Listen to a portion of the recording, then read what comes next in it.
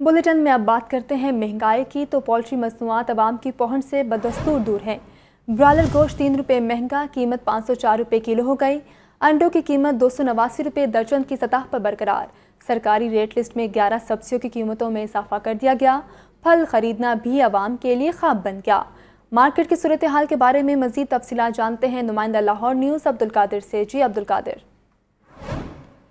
बिल्कुल, आज अशिया ज़रूरिया की कीमतों के हवाले से बात की जाए तो जो सरकारी नरकनामे जारी किए गए, उसमें 11 सब्जियों की कीमतों में इजाफा किया गया और लीमू आज चौदह रुपये महँगा करके सत्तर रुपये टिंडे छः रुपये महँगे करके सत्तर रुपये मेथी चार रुपये महँगी करके चौरासी रुपये बेगन चार रुपये महँगे करके चौंसठ रुपये खीरा चार रुपये महँगा करके चौंसठ रुपये करेले दस रुपये महँगे करके एक सौ पचपन रुपये पालक देसी पाँच रुपये महँगी करके पैंतालीस रुपये इसी तरह फूल गोभी दो रुपये महँगी करके बत्तीस रुपये अरवी दस रुपये महँगी करके एक सौ बीस और मटर पाँच रुपये महँगे करके एक सौ पंद्रह रुपये में किए गए आज ब्रायलर की कीमतों में भी इजाफा हुआ है। तीन रुपये का आज इजाफा किया गया। पाँच सौ एक रुपये से कीमत बढ़ाकर पाँच सौ चार रुपये कर दी गई। ब्राइलर बदस्तूर पाँच सौ रुपये फ़ी किलो से जायद के नरखों पर ही जो है शहरीों को फ़रोग किया जा रहा है। हमारे साथ एक सारिफ मौजूद है। शहरी मौजूद है, इनसे बात करते हैं। हर सब्ज़ी हर सब्ज़ी बढ़ गई है और गोश्त भी बढ़ गया और चारा गरीब आदमी कैसे खा सकेगा?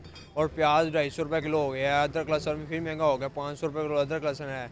और सब्ज़ी भी आस्ता आस्ता फिर बढ़ती जा रही है। पहले तो बीस तीस रुपये किलो सब्ज़ी, फिर सौ डेढ़ सौ रुपये हर सब्ज़ी आ गई है। हाँ जी, बिल्कुल। आपने जो है सारिफ की गुफ्तु सुनी, इनका कहना है कि हर सब्ज़ी जो है वो महँगी हो चुकी हुई है।